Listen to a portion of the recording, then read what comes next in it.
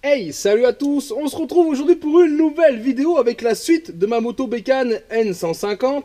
Et donc là, on va donc attaquer son moteur, son AV7, d'accord Qui a une très bonne compression, que j'avais déjà démarré, mais voilà, qui avait du mal à fonctionner. Donc je pense plus un problème de carbu, mais du coup, on va checker tout ça. Un petit peu moins de luminosité aujourd'hui à l'atelier, j'ai un éclairage qui a rendu l'âme, donc voilà, du coup là, on est en mode ampoule, ampoule filament, et franchement, ça éclaire pas de ouf.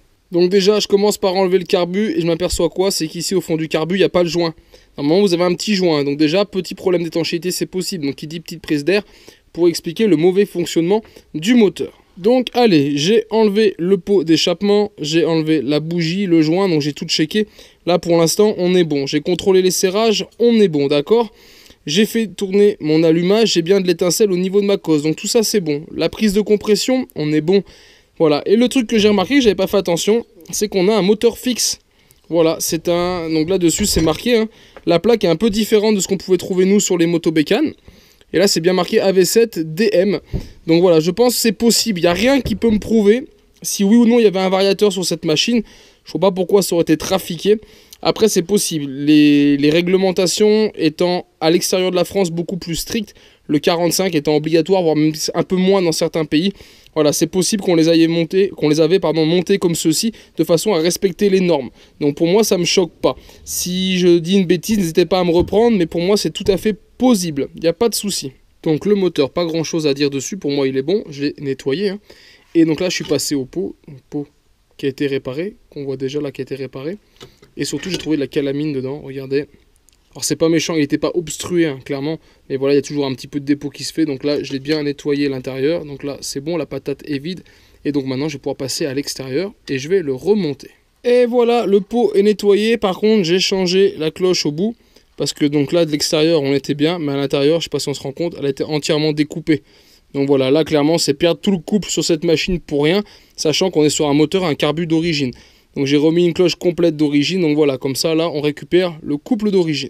Donc j'ai remonté le pot sur le moteur, on est tout bon serré, joint neuf, etc. Donc là c'est nickel et maintenant je vais donc attaquer le carbu, le contrôler. Hein.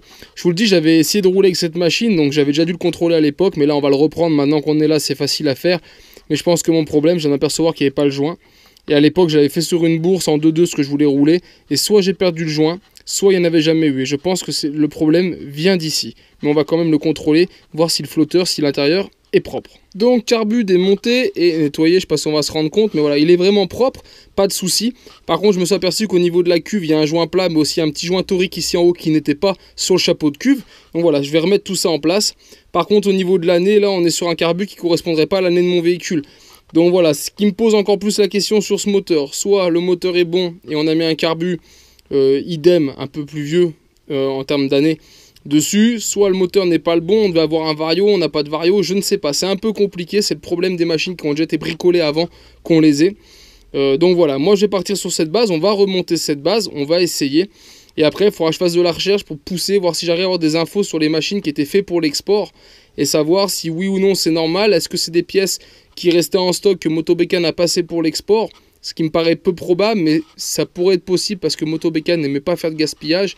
Mais euh, voilà, il y a quand même quelques années d'écart entre le carbu et ma machine, donc je trouve ça un petit peu bizarre. Pour l'instant, on va partir là-dessus, on va remonter ça, on fera les essais comme ça, voir si c'est convaincant ou pas. Et voilà les amis, on est tout bon pour le moteur, j'ai remonté le carbu, il est déjà pré-câblé, hein. j'ai remis les boisseaux comme il faut, deux câbles neufs, changé de gicleur, j'ai bien mis un 220, hein, d'accord Vous savez que d'origine ils sont livrés en 225 pour le rodage et 220 pour rouler, 220 c'est très bien, surtout moi ici à mon altitude ça marche plutôt bien.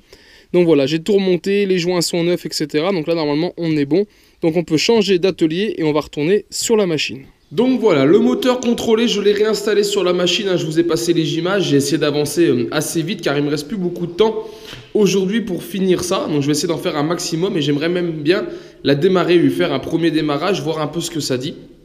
Donc voilà, moteur posé, carbu, donc était posé dessus. Il y a du reed filtre. Euh, j'ai remis donc toutes les vis qui vont bien avec le cylindre blanc. Remis l'allumage, rebranché les câbles d'allumage et j'ai déjà pré-tirer mes gaines. Donc là, il me reste plus qu'à les câbler. Donc c'est ce que je vais faire maintenant. je vais câbler tout ça. Je vais essayer de retrouver une boîte à air pour le carbus. C'est pas grave, en un premier temps, on pourra au moins la démarrer. Mais voilà, ce que je veux, c'est la démarrer. Donc une courroie câblée, mettre de l'essence et normalement, ça devrait craquer. Et donc si elle craque, ça me permettra d'essayer, voir si ce moteur ça fait ou pas, d'accord? Et euh, si ça c'est bon, bah seulement après, je viendrai la remettre ici à l'établi pour la finir complète, c'est-à-dire vraiment la finir belle belle, remonter les caches, etc. Mais voilà, là l'objectif, avant que je termine aujourd'hui, c'est de la craquer. Allez, le côté gauche avec le frein arrière et le starter, ça c'est bon. Donc maintenant, je vais faire l'autre côté. Et donc voilà les amis, on est tout câblé, on est bon. Donc je mets une courroie, je mets un litre d'essence et on va tout de suite dehors essayer de la démarrer. Allez voilà les amis, je viens de la démarrer mais je me suis aperçu d'un problème. J'ai regardé ici mon carbu et je voulais donc remettre la boîte à air. C'est ce modèle là qui va là-dessus, d'accord? Un petit peu plat. Le problème, c'est que je n'ai pas le trou de fixation pour l'axe central.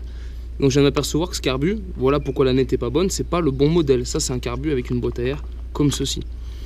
Et en fait, en cherchant donc cette boîte-là, je me suis aperçu que j'avais le carbu et qui correspond à l'année de ma machine. Donc là, c'est vraiment un gros coup de chance. Donc du coup, je vais faire tout de suite le changement. Et voilà, changement de carbu. Donc on est parti pour un démarrage. Voilà l'ancien et voilà le modèle qui va dessus. Donc là, on va pouvoir tester tout de suite. Et allez les amis, on est parti. Attention.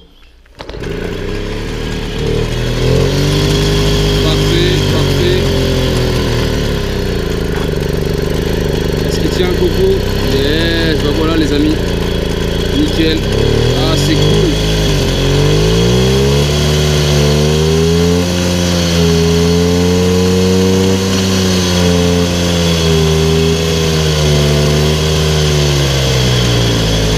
Ça, c'est bon.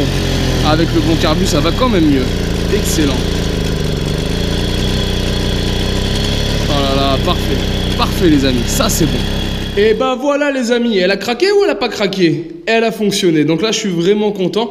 Donc maintenant il me reste à la fignoler quand même, hein. j'ai encore du travail dessus, euh, remettre les carters etc, bien ranger euh, mes câbles vegan sous mon réservoir dans les encoches, mettre la petite pompe. Après il faudra que je contrôle le, comment l'éclairage etc, voir si tout est bon. Mais voilà, donc plutôt cool, je suis vraiment content qu'elle ait démarré. En plus, par hasard, je retrouve un carbu qui est la même année et qui correspond à ces modèles sans variateur. Donc là, pour le coup, je suis vraiment, vraiment heureux. Là, je termine très, très bien euh, sur cette petite vidéo. Et donc voilà, bah, écoutez, affaire à suivre. Maintenant, moi, je vous la représenterai directement en tuto parce que ce qui reste à faire, c'est pas forcément très intéressant. Donc on la reverra en tuto et à l'essai. Donc les amis, j'espère que cette vidéo vous a plu. Et si c'est le cas, je vous invite à la partager et la liker. Et on se retrouve donc en attendant sur ma chaîne 100% Mobility Timer pour d'autres vidéos, tutos et présentations. Et en attendant, ciao ciao